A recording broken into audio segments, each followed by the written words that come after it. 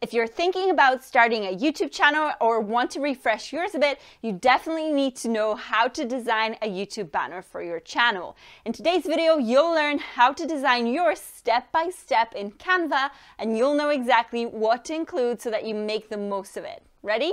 Let's do this. Hi friends, it's Natalia and welcome back to my channel where I share super actionable ideas on content creation for entrepreneurs and creatives. And today I'm back with yet another Canva tutorial which some of you asked about. We're creating our own custom YouTube banner or channel art as it used to be called. It's so important to design because it's like a business card for your YouTube. That's what people see first when they click to see your profile from your videos and it's just good to have it neatly designed so that it reflects your brand. So as I'm always saying, brand colors, brand fonts, your brand identity should be infused into it, but it's not just about the visuals. Your YouTube banner should clearly communicate to your viewers what they can expect from your channel. And that's why throughout the tutorial, I'll be guiding you along so that you include the most crucial pieces of information there. So make sure to stay to the very end. All right, are you ready? Let's jump straight to Canva. So first, when we're in Canva, we just need to make sure that we're starting with the correct dimensions, and these are 2560 by 1440 pixels. So you can either go to create design in here, but we're going to search for a YouTube banner in here. And since it was basically called YouTube channel before, as I mentioned at the beginning, we're going to go for the channel art in here. And as you can see, you already have tons of different templates that you can use, but we're going to design from scratch. And since YouTube is available on many devices, you need to make sure your banner is always displayed properly. And this means that you need certain guidelines and certain areas in which you won't be able to design. And that's why I've created a little template and this will give you an idea of where you can design and how it will display on your profile. Let me go to file in here and show guides. And as you can see, this document already has guides um, attached in here. So that gives you a rough idea of where you need to be. And you can just go ahead and grab the guidelines completely for free. And instead of a usual image that you get, I've created a small Canva template for you with all the guides set in there. So it's just there for you in the description box below. I'm going to just go ahead in here and add a page and that opens up a blank page in here with all the guides ready. And as you can see, you've got the minimum desktop plus mobile. So that means that this rectangle is going to be displayed um, on those devices. Then wider, you're going to see it on the tablet and then full desktop. So the full length of the design is going to be displayed when in full resolution. And then this whole thing, this whole wide design is based for TV screens. And if you're not using my template but just want to set up those guides for yourself, you can go to File, you can show rulers in here. Um, I've got the guides selected as well. And then you can just drag a guide from here. And if you're using an image as a guideline, you can just set it to the image or set it to specific dimensions as well. But I'm going to leave it as we already have some in here. So next we want to choose a background and either a solid color or a photo may work. Um, if you want a photo, you can go to elements in here. You can select photos in here. Um, and as you can see, you have tons of different options. If you're looking for something, you know, that works for your particular brand, you can use it in there. My um, tip would be to use a photo that is somewhat clean so it doesn't distract from any text that you apply to it or any other elements. But I'm going to go for a solid color because I've got plenty of different things to put onto this. So let's keep it light and simple. This is my brand color that I've got in here. So we're going to stick to that for now.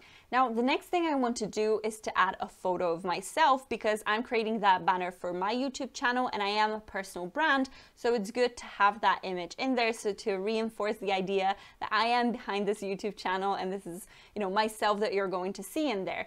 Um, obviously, if you're not a personal brand, you can put a photo of a team in there. If you're a business, maybe something that relates to a business. So if you're a florist, maybe some floral arrangements, things of that nature. You need to um, really think about what represents your brand because as I've mentioned at the beginning, this is really your business card in a way. This is your welcome page and you need to make sure that everything goes in line and reinforces the idea of what your brand stands for. Since I already have my photo uploaded, I'm going to go to upload And I already have this photo uploaded, so I'm going to choose this one. That's great.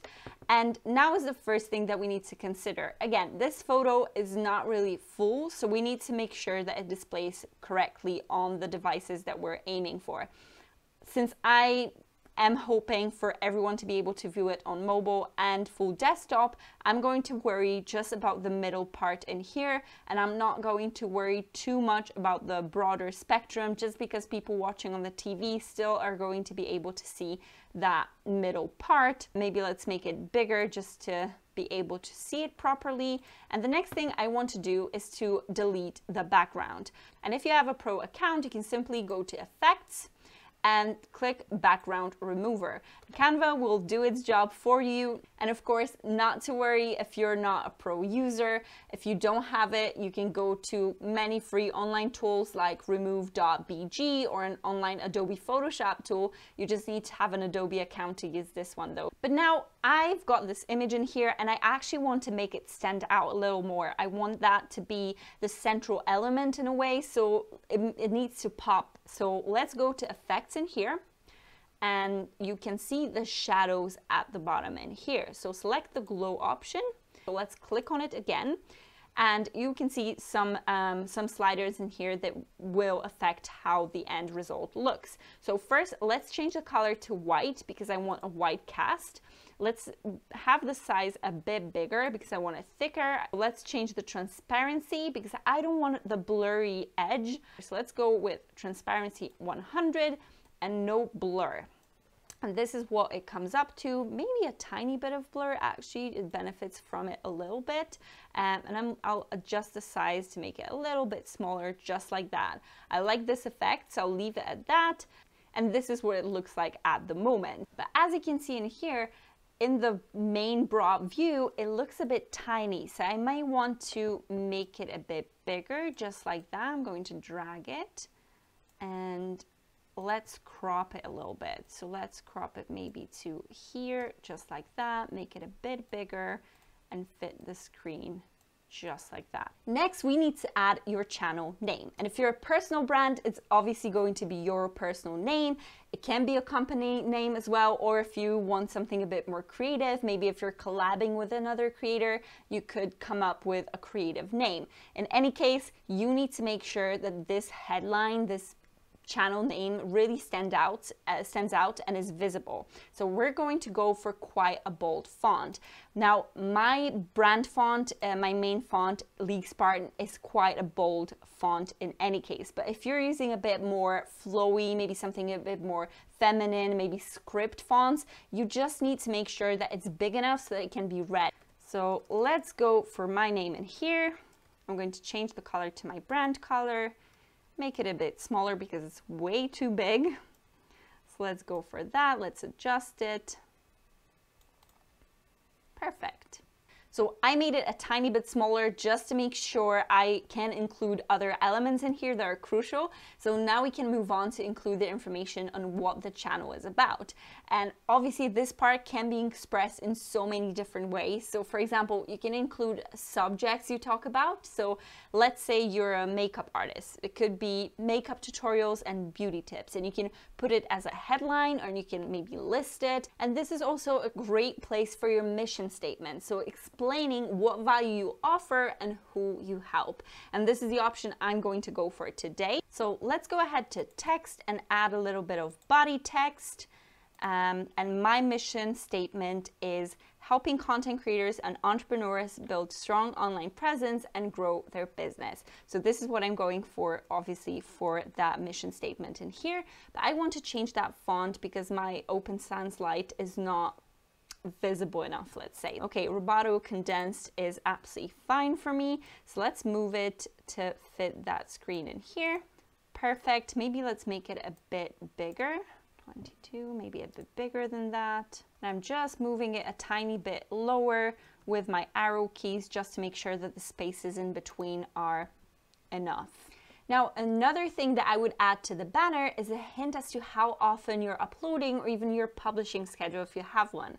You could say new video twice a week, every week, every fortnight, etc. Or say something even more precise like new video every Tuesday, 1 p.m. PST. So it gives people who visit your profile a sense of how often you're publishing and how often they should be coming back for more fresh content from you. And since this is quite a crucial piece of information, we want it to stand out as well. So let's go to elements in here. We're in photos, so let's go to all. And I have it in recently used, the square in here, but in lines and shapes, you'll be able to pull up various different shapes. But I want to go for that square in here, so let's click on it. Let's make it smaller into a rectangular shape can fit it to my name. So as you can see, the guides appear in here. Let's say that's where I want it to be.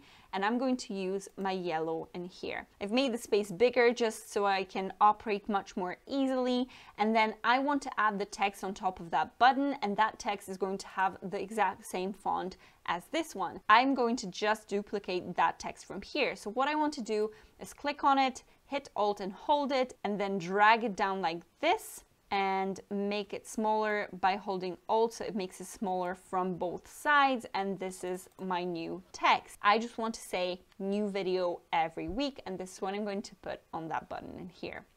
But now I think it's a bit overpowering, so I'm going to make it a bit smaller. So again, I'm dragging from here, but holding Alt at the same time. So it makes sure that it reduces the size from both sides equally. Again, makes my life easier. And then I can just select both the elements in here and group them. And then make the whole button smaller. And I think this is round about where I would want it. Maybe make that a little bit bigger so it fits that name in here and I'm happy with what it looks like at the moment. And now if you think about it, this is basic enough. I could just get all of these elements in here and drag them to the middle and let's call it a day. You know, it's simple enough. It explains what it is, but I wouldn't go without entering another very crucial thing. And this is a call to action. And yes, just as with your posts on Instagram, your videos on YouTube, etc., you have a call to action on your YouTube banner as well.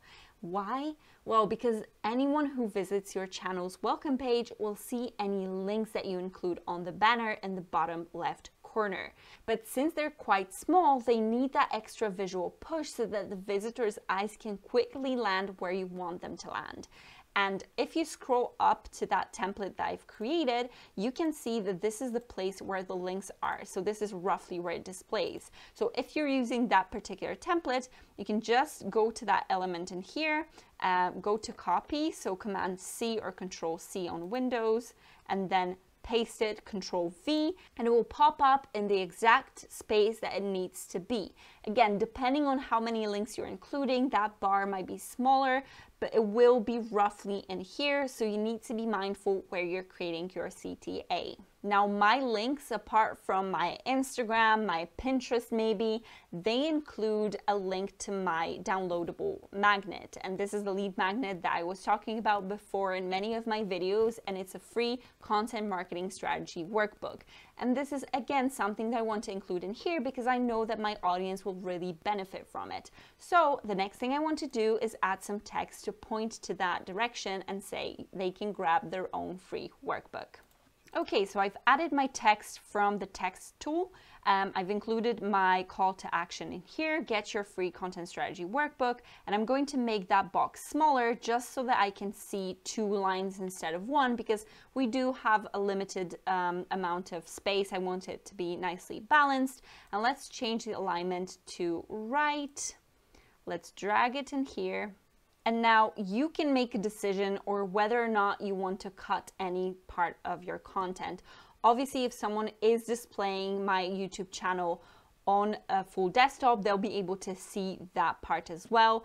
If they're viewing on tablet, they may see just a tiny bit of this in here it's a creative decision that you need to make. I'm going to just make it a little bit smaller just to fit that size in here, maybe just to kind of go right to that edge because for people who will be watching on desktop, they will be able to see that in here with a nice margin.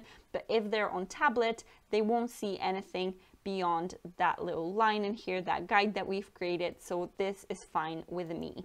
And now we need a bit of a color pop in here, maybe some arrows. So let's go to elements in here. Let's choose graphics and let's search for arrow. And let's go for that simple arrow in here. I'm going to make it a bit smaller, drag it along in here Perfect. So I could maybe opt for a color in that case. Um, you could go for another yellow in here just to balance these two, but it doesn't look as good, especially against that kind of um, grayish bar, which will display in there. We will remove it at the very end, but just for our guidance, we can see it from here. Um, could make it maybe pink, maybe pink like that, maybe blue. Yeah, I kind of like the blue. So let's stay with this blue in here and maybe add some elements behind that get your free content strategy workbook as call to action. So again, we we make that pop a little bit more. And I'm using quite a few elements that look like brush strokes. So I'm going to look for exactly that in the elements. Great. Again, let's go to graphics. And as you can see, there are tons of different images in here, tons of different graphics. For some of them, you will be able to adjust the colors, like this one, for example. You go just in here and change the colors like this. But for some of them, like this one in particular, because it's more of a like a photo effect, you won't be able to change them. So make sure to use the ones that will reflect your brand correctly. I can just go for something as simple as that. Um, let's change the color to that yellow to balance out with that button that we've got. And let's make it smaller like this. And let's make that arrow position to the top. Perfect. We can even make it a bit smaller. I actually may change it to white, just not to overpower the whole thing. Perfect, just like that. Okay, so now that I've got my call to action, I want to maybe add a few elements just to make it a bit more interesting. And you can search through elements uh, in here just to find something that suits your brand. So let's go to more, let's go to folders in here, and you've got the folder likes in here. And I've got tons of different kind of images, photos saved in here, just if I need to use them again. This is a great way to again, stash away some of your favorites in here. And I'm going to maybe just go for that one, change it to uh, my navy one, make it a bit smaller, and let's position it to the front. Let's drag it along to this side, make it a bit smaller. I'll position it backwards just so that it kind of stands out from behind that brush stroke. Now I'm happy with this part. I can now remove the links bar from here, but you know, we can leave it as simple as that, but you could add some more elements just to make it a bit more interesting, add a little bit of spice to my TikTok fam. So I'm not going to reinvent the wheel. I'm going to use something that I've created before, and this is the um, free lead magnet workbook. So I'm just going to copy it from here, from the other design and then go back to that editor and just simply paste it in here, make it smaller, and voila, this is you done. Again, you don't need to keep tweaking, keep changing different things. Use what you've got already if it worked for you in the past.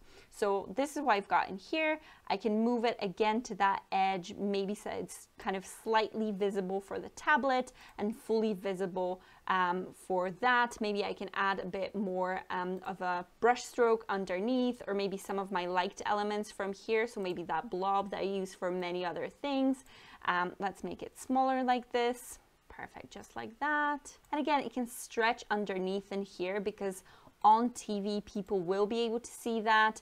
If it's not on TV, as you can see, it's just a you know nice element underneath just to make sure that you're seeing different things. So it can be yellow just like that. It's a bit overpowering, I feel like, but you know, could add it like that and maybe change the color to some darker blue. I kind of like that one actually. And maybe with the darker blue, it looks a bit like a cloud.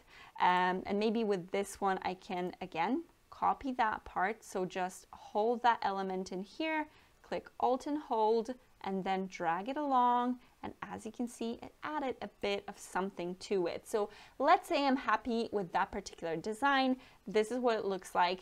Again, if you're someone who likes to be a bit more creative, you can definitely put that space to good use. You can en enter some blobs in here. As I've mentioned, these, these elements usually are found under organic shapes or blob. Um, so you can kind of put them in different spaces in here um, drag them along just make it visually more interesting. I could change the color of that one to white, let's say. This one could be darker blue. Again, you can add those interesting images, but I just don't want that element to, you know, I don't want to overpower the whole image. So let's keep it as that. Perfect, so that, let's hide those likes from the left bar in here.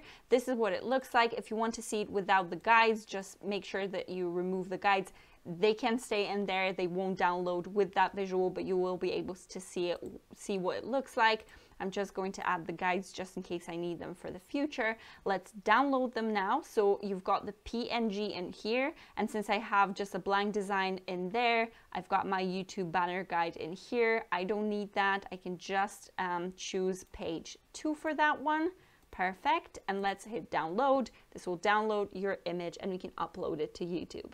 And now that we're on YouTube, let's go to your channel in here, then click customize channel, and then it will open up that channel customization tab in your YouTube Creator Studio. First thing you've got is the layout and we want the branding tab from here. Then there's the banner image in the middle. So let's hit change. Let's choose the image that you've just downloaded from Canva. And as you can see, it shows you the guides or on what's viewable on desktop, viewable on all devices. As long as you're happy with it, you've got that part in there as well. So let's hit done. Let's hit publish here in the corner. Don't forget that because otherwise it won't upload on your channel. Once it's published, you can see that pop up in here, go to channel, and it will show you your brand new content art. And as you can see, download a free workbook is in here. You've got my links and this is that visual cue to get your free content strategy workbook from my channel. So anyone who visits, they can see that bit in here. So this is the content marketing workbook. They can see that call to action. They can see what my channel is all about and how often I post. So this is something that I recommend for all channel banners to have. And this is the tutorial concluded. Now that you've got your YouTube banner ready to go, make sure to optimize your channel properly so that you're making the most of it and attracting the right tribe. So go ahead and watch this video now where I explain exactly what you need to do step by step. If you're looking for more Canva tutorials to make your content creation a breeze, head on over to this playlist. Are you giving your channel a facelift or just starting out? Share your channel down below because I'd love to check it out. If you found this tutorial helpful, hit that like button and make sure you subscribe with the notification bell so that you're reminded each time I release another super actionable video. Thank you so much for watching and I'll see you next time.